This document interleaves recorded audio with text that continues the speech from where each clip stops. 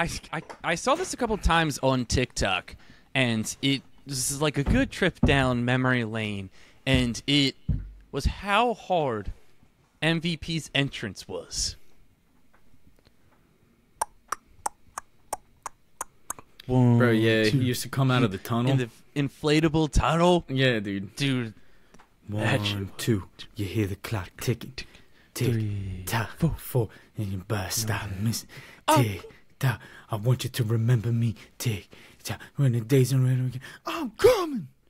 Nobody can stop me, nobody can hold me, nobody control me. I'm coming!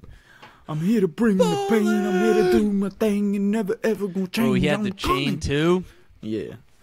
That was crazy, man. Bro, Dude, MVP get- was great. Let's get MVP on television again, man. Yeah. I mean, I think he's a great manager. um he's hilarious, bro. He's great. Yeah, he's and he's great. like looking back on it, uh, you realize, dude, his he had a really good run with that U. Like his U.S. title run Yeah. was really good. yeah, Like, him and Matt Hardy's feud was like honestly like one of the better, one of the best feuds of that era.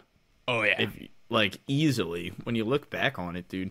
Like when I think of Matt Hardy foes, like MVP. Uh, dude, MVP comes to mind so I mean, quickly. dude, that was in like, like the middle of like our upbringing and us Yeah. like watching WWE, man.